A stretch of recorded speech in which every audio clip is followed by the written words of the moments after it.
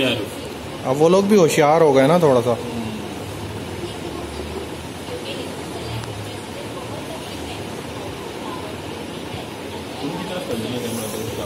अब यहाँ पे स्टॉप कर दे यहाँ पे उसका वो जो आया था ना उसका फेस दिख